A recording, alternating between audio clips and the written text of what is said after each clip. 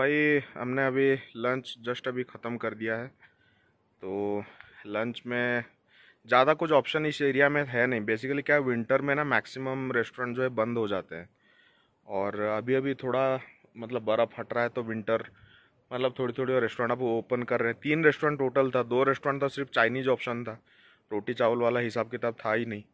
और एक रेस्टोरेंट पे हम लोग को ठीक ठाक थोड़ा मिल गया थाली।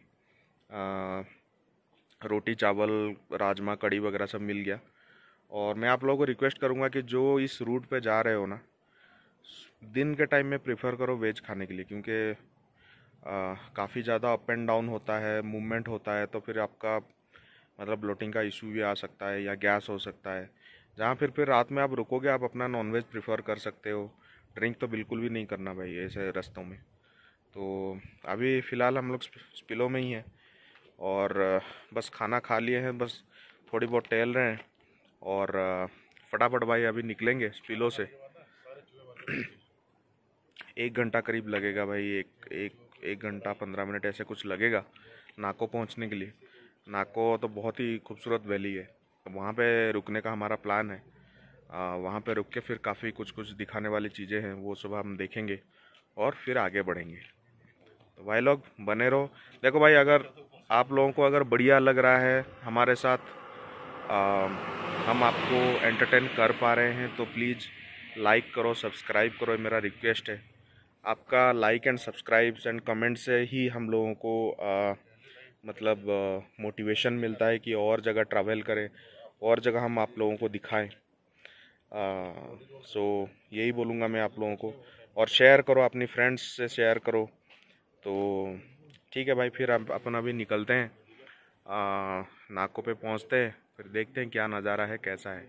अभी मैंने एक लोकल से यहाँ पे पूछा तो उन्होंने कहा कि हाँ आप जब नाको से अगेन फिर मेजर वाला जब आप स्टार्ट करोगे, काजा वगैरह में तो वहाँ पे अभी काफ़ी ठंड है और बर्फ़ वगैरह भी काफ़ी है।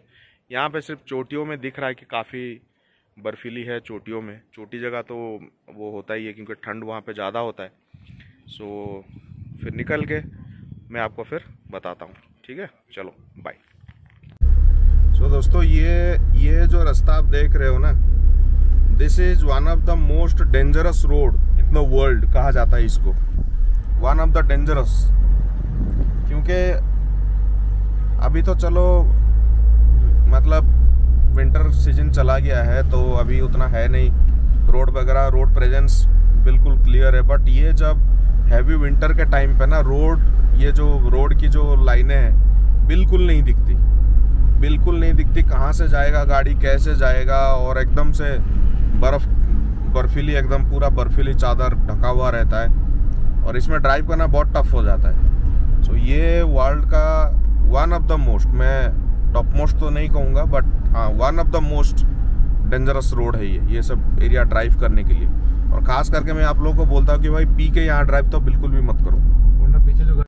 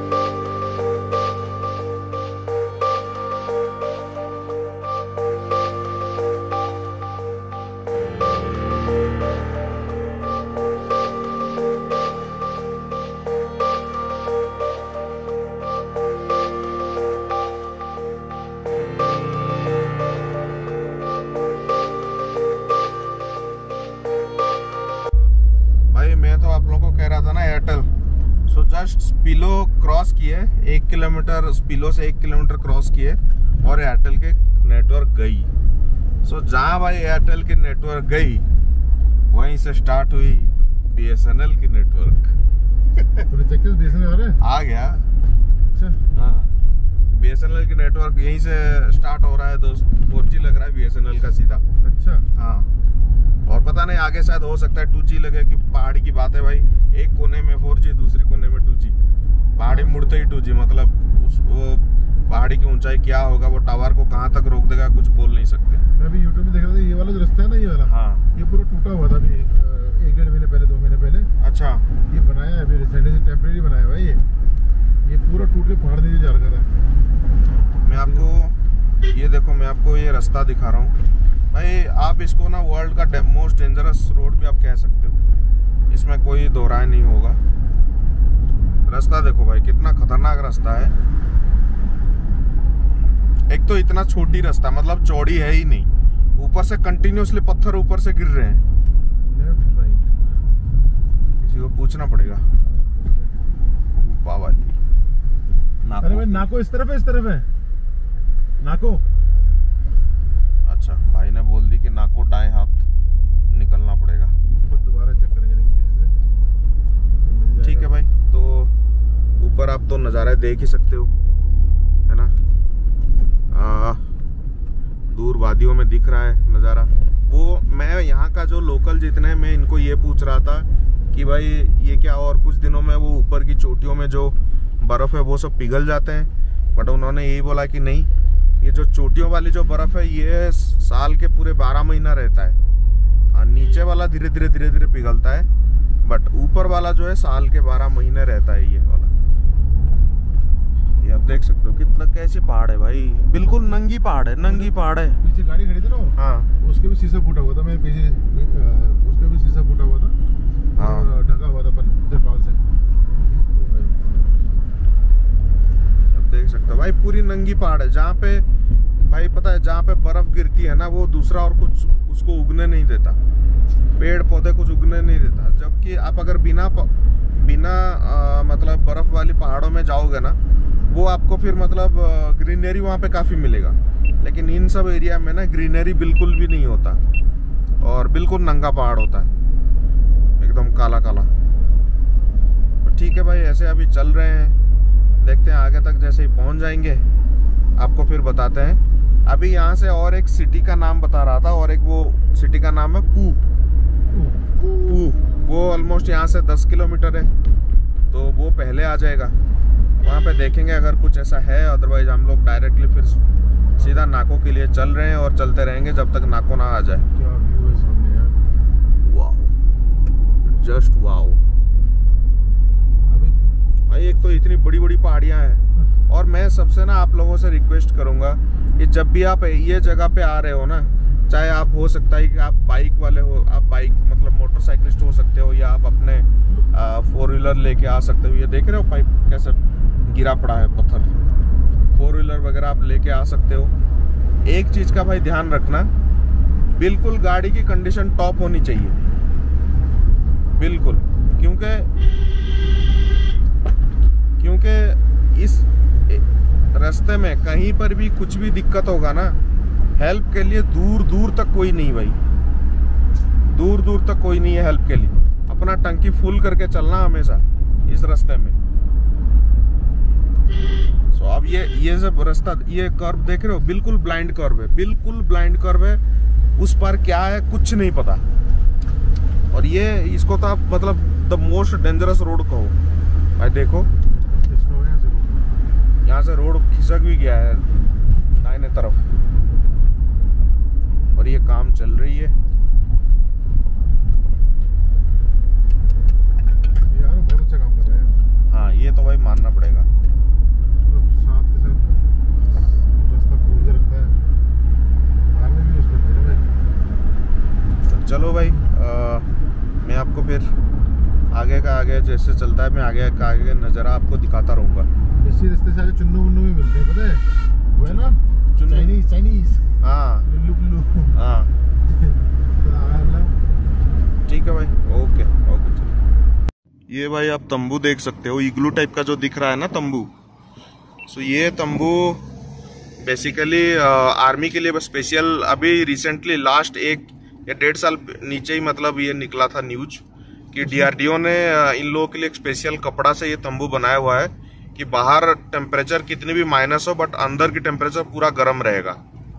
सो so, ये स्पेशल फौजियों के लिए सरकार की तरफ़ से बनाया गया था वो अ, टेंट और आगे आप देख ही सकते हो नज़ारे। धीरे धीरे धीरे धीरे अब स्टार्ट है और भाई ठंडी हवा भी चालू अब हो चुका है। ठंडी हवा लगना। चालू अब स्टार्ट हो गया है ठंडी हवा। तो देखते जाते हैं, ठीक है? ओके ये भाई, हम लोग अभी नाको से जस्ट ऑलमोस्ट 25 किलोमीटर पहले हैं। और कितनी खूबसूरत जगह है देखो। कितना मस्त खूबसूरत जगह है। इतनी खूबसूरत जगह ना कहीं देखने को नहीं मिलता। बहुत ही कम देखने को मिलता है ऐसी खूबसूरत जगह। क्या ज़बरदस्त जगह है भाई। मैं आपको दिखाता हूँ।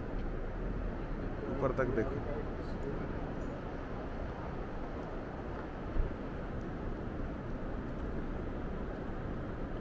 दूर दिख रहा है आपको?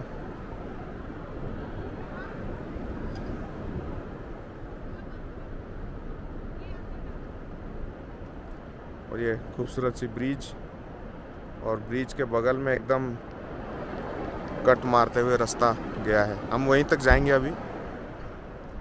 इनफैक्ट नदी भी साथ में बहती हुई जा रही है। मैं आपको दिखा देता हूँ। आज प्रभाव भी जोरदार है।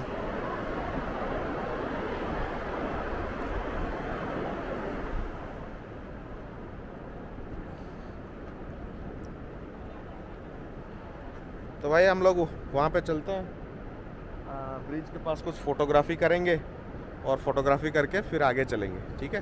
ओके भाई हमारे जो बीआरओ है बीआरओ मतलब बॉर्डर रोड ऑर्गेनाइजेशन जो बेसिकली ऐसे पहाड़ों वगैरह की कटिंग करके आ, हमारी जवानों के लिए सरहद तक पहुँचने तक रास्ता बनाती है। उन्होंने यहाँ पे एक बड़ी खूबसूरत वहाँ पे कोटिंग करी है यहाँ पे। मैं आपको वो कोटिंग दिखाता हूँ। आई डोंट नो कि सही में आ रहा है कैसे? हाँ यहाँ से देखिए वो कोटिंग क्या लिखा है? जो आपके जो आपके लिए जीवन भर का असाधारण रोमांच है वो हमारी रोज़मर्रा की ज़िंदगी है। सो so, मतलब वो ये कहना चाहते हैं कि भाई जिसे देख के आप बहुत उछलते हैं ना वो पहाड़ी आ गई ये आ गई वो आ गई। ये उनका डेली का लाइफ है। और भी मैं आपको एक बढ़िया चीज़ दिखाता हूँ इस तरफ़। बीआरओ ने लगाया हुआ है। ये बेसिकली आप लोगों की सावधानी के लिए लगाई हुई है। पढ़िए। Let your insurance expire before you drive slow ठीक है? तो यानी कि बी ये कह रहा है कि भाई सावधानी से चलाओ। घर में कोई इंतज़ार कर रहा है। ठीक है? तो हम लोग अभी आगे तक चलेंगे। आगे तक इसका फोटोग्राफी लेंगे प्रॉपर धूप भाई, धूप एकदम गिर रही है एकदम से। मेरा दोस्त हरेंद्र कहाँ चला गया? पता नहीं भाई कहाँ चला जाता है। यही तो था अभी। शायद नदी में अच्छा नदी में जाने के लिए नीचे रास्ता है भाई। चलो नदी पे चलते हैं।